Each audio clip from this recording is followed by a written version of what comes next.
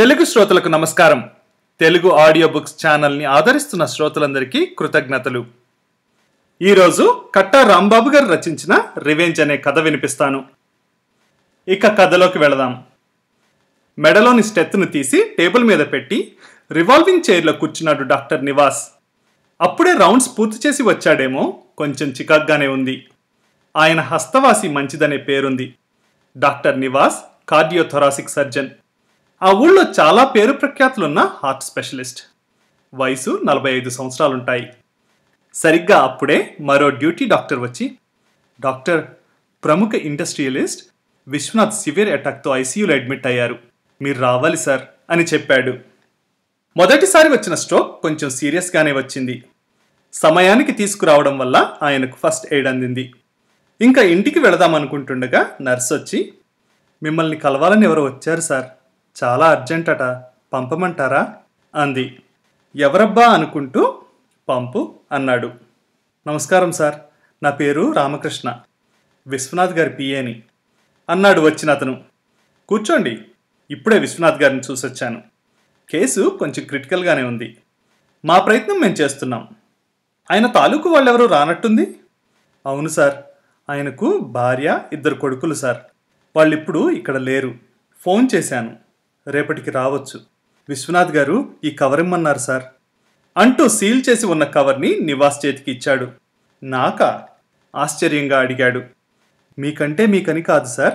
ఆయనకు సీరియస్ అయ్యి ఏ హాస్పిటల్లో అడ్మిట్ చేస్తారో ఆ డాక్టర్కి ఇవ్వమన్నారు సార్. అందులో ఏముందో కూడా నాకు తెలియదు సార్. ఆ కవర్ని ఎవరికి చూపించొద్దని అది ఉన్నట్టే ఎవరికి చెప్పొద్దని నన్ను కూడా తీసి చూడొద్దని చెప్పారు. ఈ టైంలో మీకు ఇవ్వడం మంచిదని ఇస్తున్నాను సార్. చెప్పాడు రామకృష్ణ. ఆశ్చర్యపోయాడు నివాస్. మీరెళ్ళి బయట కూర్చోండి పిలుస్తాను. రామకృష్ణ వెళ్ళిన తర్వాత కాసేపు ఆలోచించి కవర్ ఓపెన్ చేశాడు. అందులో ఓ పెద్ద ఉత్తరం ఓ చెక్ ఉన్నాయి. ఆ చెక్ మీద పది లక్షల రూపాయలు వేసి విశ్వనాథ్ గారి సంతకం పెట్టి ఉంది. అయితే చెక్ ఎవరికి చెందాలో రాసిలేదు ఖాళీగా ఉంది. డాక్టర్ గారు మీరెవరో నాకు తెలీదు. నాకేదైనా అయ్యి హాస్పిటల్లో అడ్మిట్ అయినప్పుడు అక్కడి డాక్టర్ గారికి ఈ ఉత్తరం ఇమ్మని మా పిఏకి చెప్పాను. అతను మీకు ఈ ఉత్తరం ఇచ్చి ఉంటాడు. కాబట్టి ఇది పూర్తిగా చదవండి. నా గురించి ఇప్పటికే మీకు తెలిసి ఉంటుంది. కానీ మీకు చెప్పుకోవలసిన విషయాలు చాలా ఉన్నాయి డాక్టర్ గారు. నేను అవ్వడానికి ఓ పారిశ్రామికవేత్తనే కానీ ఇంత వాడినవ్వటానికి నేనెంత కష్టపడ్డానో ఎవరికీ తెలీదు.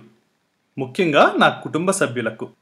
ఒక సాధారణ ఉద్యోగిగా చేరిన నేను అదే సంస్థకు యజమానినై నా బిజినెస్ సామ్రాజ్యాన్ని విస్తరింపచేయడానికి అహోరాత్రులు కష్టపడ్డాను.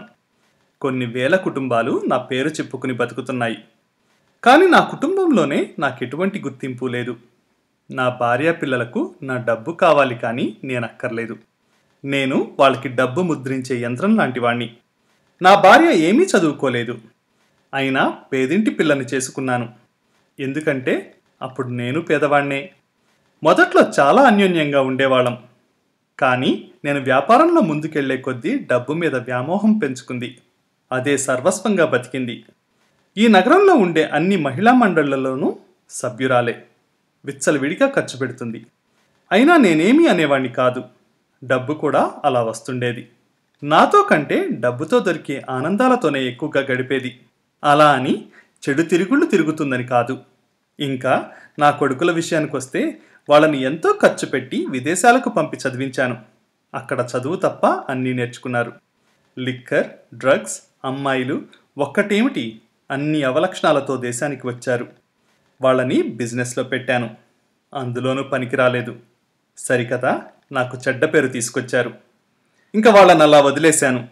అంతే నేను సంపాదించింది ఖర్చు పెట్టి జల్సాలు చేస్తున్నారు. నేను వాళ్ళకి డబ్బుని అందుబాటులో ఉంచకపోతే నాతో పోట్లాట పెట్టుకునేవారు.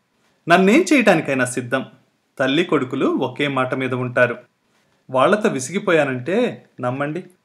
అప్పుడప్పుడు చావాలని కూడా అనిపించేది. కానీ నా మీద ఆధారపడి ఎంతోమంది బతుకుతున్నారు. అలాంటప్పుడు వీళ్ళ కోసమా నేను చావాలనుకునేది అనుకునేవాణ్ణి. గత సంవత్సరం నుంచి నా ఆరోగ్యం అంతగా బాగుండటం లేదు. ఎప్పుడైనా విదేశాలకు వెళ్ళినప్పుడు టెస్టులు చేయించుకునేవాణ్ణి. గుండె బలహీనంగా ఉందని చెప్పారు. మందులు వాడుతూ ఉన్నాను. ఎక్కువగా రెస్ట్లో ఉండమన్నారు. అప్పటినుంచి బిజినెస్లో పార్ట్నర్స్ని చేర్చుకుని నేను తగ్గించుకున్నాను. అది మా వాళ్ళకి నచ్చలేదు. పార్ట్నర్స్ వద్దంటారు. లాభాలు తగ్గిపోతున్నాయని గొడవ పెట్టుకుంటున్నారు. నేను నా ఆరోగ్యం గురించి చెప్పాను. నేను పోతే వాళ్ళు వ్యాపారాలను చూసుకుంటామని చెప్పారు. అప్పుడు నేను పడ్డ బాధ వర్ణనాతీతం. అప్పట్నుంచి వాళ్ళు నా మీద కక్ష కట్టారు. మానసికంగా ఎంతవరకు హింసించవచ్చో అంత హింసించేవారు. అప్పుడే నా మనసు విరిగిపోయింది. అప్పట్నుంచి ధార్మిక సంస్థలకు ఆశ్రమాలకు ఇతర సామాజిక సేవలకు విరాళాలివ్వటం ప్రారంభించాను. ఆ రోజు నుంచి నా పరిస్థితి ఇంకా దారుణంగా తయారైంది. నా చావు కోసం ఎదురు చూడటం మొదలుపెట్టారు. వాళ్ళ మీద నాకు విపరీతమైన ద్వేషం పెరిగిపోయింది. అప్పుడే నిర్ణయించుకున్నాను వీళ్ళకు బుద్ధి చెప్పాలని. నా ఆస్తిని అంతా వాళ్ళకి దక్కనివ్వకూడదని నిర్ణయించుకున్నాను. ఎవరైతే నా అభివృద్ధికి కారకులో అంటే నా వర్కర్స్కి నా కంపెనీలో వచ్చే లాభాలు చెందేటట్లు రాశాను. మా వాళ్ళకి మాత్రం వాళ్ళు బ్రతకడానికి సరిపోయే ఆస్తిపాస్తుల్ని రాశాను. అప్పుడు కానీ వాళ్ళకి అర్థం కాదు బాగా బతకాలంటే కష్టపడి సంపాదించాలని. మిగిలిన ఆస్తుల్ని పేద పిల్లల విద్యాభివృద్ధికి ఒక ట్రస్టుని ఏర్పాటు చేసి దానికి రాశాను. డాక్టర్ గారు మిమ్మల్ని వేడుకునేదొక్కటే. మా వాళ్ళకి బుద్ధి చెప్పాలి. దానికి మీరు సహకరించాలి. నేను బతకపోవచ్చు అందుకే మీకు ముందుగా చెక్ రాసి పెట్టాను. ఆ మొత్తం మీదే. వాళ్ళ మీద నా పగ తీర్చుకొనివ్వండి. ఏ భర్త ఏ తండ్రి నాలా ప్రవర్తించి ఉండడు. కానీ నా మానసిక వ్యధను అర్థం చేసుకోండి. నా వాళ్ళ చేత ట్రీట్మెంట్ కోసమని ఖర్చు పెట్టించండి. వాళ్ళు తప్పనిసరిగా ఖర్చు పెట్టాలి. అది నేను బతకడం కోసం కాకపోయినా సొసైటీలో చెడ్డ పేరు రాకుండా చూసుకోవడానికైనా ఖర్చు పెడతారు. ఆ డబ్బు మీకు అక్కర్లేకపోతే దాన్ని సేవా కార్యక్రమాలకు ఖర్చు పెట్టండి. మీరు ఎంతవరకు ఖర్చు పెట్టించడానికి అవకాశం ఉంటుందో అంత ఖర్చు పెట్టించండి. ఎన్ని లక్షలైనా సరే వాళ్ళని వదలకండి. ఒకవేళ నేను బతికితే అవసరం ఉన్నా లేకపోయినా ఎన్ని నెలలైనా ఇక్కడ ఉంచండి వాళ్ళకి నేనంటే ఏమిటో తెలియాలి. మీరు నాకు ఈ సాయం చేసి పెట్టాలి. ఇంతకన్నా నేను కోరుకునేదేం లేదు. ఇట్లు విశ్వనాథ్. ఆ ఉత్తరం చదివి దీర్ఘంగా నిట్టూర్చాడు డాక్టర్ నివాస్. విశ్వనాథ్ మీద విపరీతంగా జాలి కలిగింది. డబ్బుంటే మాత్రం ఏం సుఖం అనుకున్నాడు. రామకృష్ణను పిలిచి ఆయన భార్య పిల్లల గురించి అడిగాడు. మేడం గారు ప్రస్తుతం ఊళ్ళో లేరండి. ఎక్కడున్నారో కూడా తెలియదు ఫోన్ చేసి చెబితే ఎల్లుంటికి కానీ రాలేనన్నారు. సీరియస్గా ఉందని చెబితే రేపు రావడానికి ప్రయత్నిస్తానన్నారు. ఇంకా అబ్బాయి గారులు అయితే క్లబ్లో ఉన్నారండి. విషయం చెప్తే వస్తాంలే అని నిర్లక్ష్యంగా సమాధానం చెప్పారు అంటూ బాధపడ్డాడు. సరే ఇప్పుడెవరొచ్చి చేసేదేం లేదు. అవసరమైన మందులు వాడుతున్నాం కదా చూద్దాం. అంటూ పైకి లేచాడు ఇంటికి వెళ్ళడానికి. రామకృష్ణ ఐసీయూ వైపు నడిచాడు. నివాస్ పడుకున్నాడన్నమాటే కానీ నిద్ర రావటం లేదు. విశ్వనాథ్ గారు రాసిన ఉత్తరం పదే పదే గుర్తుకొస్తుంది. భార్య పిల్లల మీద పగ తీర్చుకోవడానికి ఓ డాక్టర్ని ఎంచుకోవడం అతనికి ఆశ్చర్యం కలిగించింది. నిజంగా సంపాదించాలంటే దీన్ని అడ్డు పెట్టుకుని ఎంతైనా సంపాదించవచ్చు ఏమిటింత దీర్ఘంగా ఆలోచిస్తున్నారు? నిద్ర రావడం లేదా? అడిగింది శ్రీమతి. విషయం చెప్పాడు నివాస్. పాపం కొందరి జీవితాలు అంతే సానుభూతి చూపించిందామె. రేపు విశ్వనాథ్ గారి భార్య పిల్లలొస్తే ఏం మాట్లాడాలో ఎలా మాట్లాడాలో నిర్ణయించుకున్నాడు. కలత నిద్రపోయి తెల్లారి లేచి గబగబా తయారై హాస్పిటల్కి వెళ్ళిన వెంటనే ఐసీయూ దగ్గర వెళ్ళి విశ్వనాథ్ గారిని చూశాడు. ఆయన ప్రశాంతంగా నిద్రపోతున్నారు. మళ్ళీ రిపోర్ట్స్ అన్నీ చూశాడు.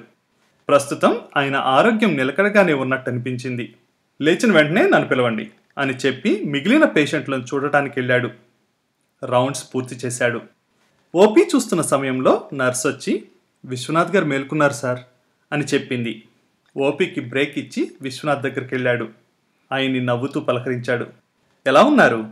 అంటూ ఆయన నుదుటి మీద చేయి వేశాడు. ఆయన కూడా నవ్వారు. కాసేపు అయిన తర్వాత మీతో మాట్లాడాలి అన్నాడు ఆయన అక్కడే ఉన్న డ్యూటీ డాక్టర్ని నర్స్ని బయటికి పంపేశాడు. అక్కడ ఇద్దరే ఉన్నారు. చెప్పండి అన్నాడు నివాస్. విషయం అంత ఉత్తరంలో రాశాను. మీరు నాకు హెల్ప్ చేయాలి డాక్టర్ గారు. చాలా నీరసంగా ఉండటంతో ఆయన గొంతు నెమ్మదిగా ఉంది. చూడండి విశ్వనాథ్ గారు మీ సొంత మనుషుల మీద అంత రివెంజ్ అవసరం అంటారా? చెప్పండి. వాళ్ళని క్షమించలేరా? ఎలా క్షమించమంటారు డాక్టర్? వాళ్ళు నా చావుని కోరుకున్నారు. కట్టుకున్న భర్త ఏమైపోయినా నా భార్యకు అవసరం లేదు. కన్న తండ్రి చావు కోసం ఎదురు చూస్తున్నారు నా కొడుకులు. మీరొక్కసారి ఆలోచించండి నా మానసిక స్థితి ఎలా ఉంటుందో. పోనీ మీకు ఆ డబ్బు సరిపోదంటే చెప్పండి డాక్టర్ నా పిఏతో డ్రా చేయించి ఇస్తాను. నేను డబ్బు గురించి ఆలోచించడం లేదండి. సరే మీరు ఇంక విశ్రాంతి తీసుకోండి నేను మళ్ళీ వస్తాను అని చెప్పి అక్కడి నుంచి కదిలి ఓపీ దగ్గరకు వచ్చాడు. మధ్యాహ్నం రెండు గంటల వరకు చూశాడు. లంచ్ ఇంటి దగ్గర నుంచి వస్తుంది. భోజనం చేసి రిలాక్స్ అయ్యాడు. మెడికల్ రిప్రజెంటేటివ్స్ వస్తే వాళ్ళతో మాట్లాడాడు. సరిగ్గా మూడు గంటల సమయంలో రామకృష్ణ వచ్చి విశ్వనాథ్ గారి భార్య కొడుకులు వచ్చారని చెప్పాడు. వాళ్ళని తీసుకురమ్మని చెప్పాడు. వాళ్ళు లోపలికి వచ్చాక రామకృష్ణ బయటికి వెళ్ళిపోయాడు విశ్వనాథ్ గారి భార్య గాయత్రీదేవి కొడుకులు రమేష్ సురేష్లు నివాస్ టేబుల్ ముందు నిలబడ్డారు. వాళ్ళని కూర్చోమని చెప్పడంతో కూర్చున్నారు. గాయత్రీదేవికి అరవై సంవత్సరాలు పైనే ఉంటాయి. కానీ అంత వయసున్న దానిలా కనపడటం లేదు. చాలా అందంగా ఉంది. ఆవిడ హాస్పిటల్కి చావు బతుకుల మధ్య కొట్లాడుతున్న భర్తను చూడటానికి వచ్చినట్టుగా లేదు. ఏదో పెళ్ళికో పేరెంటానికో వెళుతున్నట్లుగా చాలా ఖరీదైన చీరతో ఒంటి మీద వజ్రాల నగలతో వచ్చింది. కొడుకులు భారీ కాయాలతో పెంచిన గడ్డాలతో రౌడీల్లా ఉన్నారు. పాతిక ముప్పై సంవత్సరాల మధ్య వయసు ఉంటుంది వాళ్ళకి. ఆయన ఎలా ఉన్నారు? నిర్లక్ష్యంగా అడిగాడు పెద్ద కొడుకు రమేష్. ఆయనంటే అదే మా డాడీ. ఎలా ఉంటారని అనుకుంటున్నారు? అదేంటి డాక్టర్? పిల్లలకు వాళ్ళ డాడీ ఎలా ఉన్నారో తెలుసుకోవాలని ఉండదా? అన్నారు గాయత్రీదేవి కొంచెం కోపంగా. మీకు లేదా? తిరిగి ప్రశ్నించాడు నివాస్. వాళ్ళకి మతిపోతోంది నివాస్ ప్రవర్తనకు. ఈయన మీద చాలా కోపం వస్తోంది. అది గమనించిన నివాస్ చూడండి విశ్వనాథ్ గారు మీరంతా ఉండి కూడా ఎంత ఒంటరిగా బతుకుతున్నారో తెలుసా? అన్నాడు. ఆయనకు ఒంటరితనం ఏమిటండి? ఆయన ఓ పెద్ద బిజినెస్ సామ్రాజ్యానికి మహారాజు. ఆయన వాళ్ళ పార్ట్నర్స్తో కలిసే ఉంటారు ఎప్పుడు. అంది నిష్ఠూరంగా గాయత్రీదేవి. అంటే ఆయనకు భార్య పిల్లల అవసరం లేదంటారా? వాళ్ళు మాట్లాడలేదు. మీరంతా నేను చెప్పేది కొంచెం జాగ్రత్తగా వినండి. ఏ మనిషికైనా తన కుటుంబం తర్వాతే ఏదైనా అయి ఉంటుంది విశ్వనాథ్ గారు అలా ఆలోచించే మనిషని నాకు అర్థమవుతోంది. ఆయనకు మీ అండదండలుండి ఉంటే ఆయన బిజినెస్లో ఇంకా బాగా రాణించేవారు. అలాగే ఆరోగ్యపరంగా ఈ స్థితిలో ఉండేవారు కాదు. ఆ మాటలు వాళ్ళకింకా కోపాన్ని తెప్పించాయి. అంటే మా వల్లే ఆయన ఇలా అయ్యారంటారా? అన్నాడు చిన్న కొడుకు సురేష్. అది నిజం కాదంటారా? మళ్ళీ మౌనం. మీరు అవునన్నా కాదన్నా ఇది నిజం. ఇంటి యజమాని మీద కోపం కక్ష ఉన్నంత మాత్రాన భార్య కానీ పిల్లలు కానీ ఆయన చావును కోరుకోకూడదు. ఆయన పోయాక కానీ వారి విలువ తెలియదు. వాళ్ళు ఏదో చెప్పబోయారు కానీ నివాస్ వాళ్ళని మాట్లాడనివ్వలేదు. ఈ విషయాలన్నీ నాకెలా తెలుసని మీకు అనిపించవచ్చు తెలుసుకోవాలనుకుంటే ఎలాగైనా తెలుస్తాయి. గొప్పవారి గోత్రాలు లోకుల కెరుకంటారు కదా. మీరు ఆయన మీద ఆయన మీ మీద రివెంజ్ తీసుకోవాలనే ప్రయత్నంలో మీరు ఏం కోల్పోతున్నారో మీకు తెలియడం లేదు. ఆయన ఎందుకు ఇలా మాట్లాడుతున్నాడో వాళ్ళకు అర్థం కావడం లేదు. గాయత్రీదేవి గారు మీరొక విషయం ఆలోచించాలి. మీరిప్పుడు పసుపు కుంకుమలతో సాక్షాత్తు లక్ష్మీదేవిలా ఉండటమే కాదు పుణ్య స్త్రీగా సంఘంలో గౌరవ మర్యాదలు పొందుతున్నారు. అలాంటప్పుడు మీ భర్త మీకు దూరమైతే మీకు ఆ గౌరవం ఉంటుందంటారా? మీ దగ్గర ఉన్న డబ్బు మీకు గౌరవాన్ని తెస్తుందంటారా? అన్నింటికీ మిమ్మల్ని దూరంగా పెడతారు. ఆ పరిస్థితిని మీరు భరించలేరు. అనుభవంలోకి వస్తే తప్ప ఆ బాధ ఎలా ఉంటుందో మీకు తెలియదు. అలాగే సురేష్ రమేష్ మీరు కూడా ఆలోచించండి. మీ తండ్రి ఉన్నంతవరకే మీరు తండ్రి చాటు బిడ్డల్లా మీరెన్ని తప్పులు చేసినా రక్షించబడుతున్నారు. ఎప్పుడైతే మీ తండ్రి మీకు దూరం అవుతారో అప్పుడు ఈ సమాజం మీతో ఫుట్బాల్ ఆడుతుంది. ఈ విషయాన్ని మీరు గమనించడం లేదు. ఎంతసేపు ఆయన పోతే సర్వాధికారాలు మీకు వస్తాయని అనుకుంటున్నారు కానీ దాని పరిణామాలను ఆలోచించడం లేదు. చెప్పడం ఆపి వారి ముఖాల వంక చూశాడు నివాస్. వారి ముఖ కవళికలు మారిపోయాయి. ముఖాల్లో భయం చోటు చేసుకుంది. గాయత్రీదేవి కళ్ళలో నుంచి కన్నీరు బుగ్గల మీదుగా జారుతున్నాయి. కొడుకుల ముఖాల్లో కూడా బాధ కనిపించింది. ఇప్పటికీ మించిపోయింది లేదు. ఆయన ఆరోగ్యం ఇప్పుడు మీ చేతుల్లో ఉంది. మీకు నిజంగా ఆయన కావాలనుకుంటే ఆయన్ని అక్కున చేర్చుకోండి. మీరంతా ఆనందంగా ఉంటారు.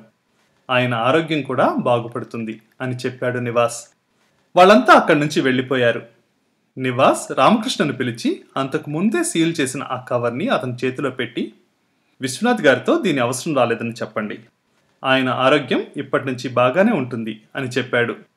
అక్కడి నుంచి లేచి ఐసీయూకి వెళ్ళి విశ్వనాథ్ గారు ఉన్న రూమ్ దగ్గరకు వచ్చాడు. లోపలి దృశ్యాన్ని చూసి నివాస్ ఆశ్చర్యపోలేదు. విశ్వనాథ్ గారి కాళ్ళ మీద తన ముఖాన్ని ఉంచి గాయత్రీదేవి రోధిస్తోంది. విశ్వనాథ్ గారి రెండు భుజాల మీద కొడుకులిద్దరూ తలలు పెట్టి ఏడుస్తున్నారు. వాళ్ళందరినీ విశ్వనాథ్ గారు ఓదారుస్తున్నారు. తను ఒక మనిషి ప్రాణాన్ని కాపాడటమే కాదు ఒక కుటుంబాన్ని నిలబెట్టగలిగాననే సంతృప్తితో నివాస్ అక్కడి నుంచి కదిలాడు. రివెంజ్ ఈ కథ ఇంతటితో సమాప్తం.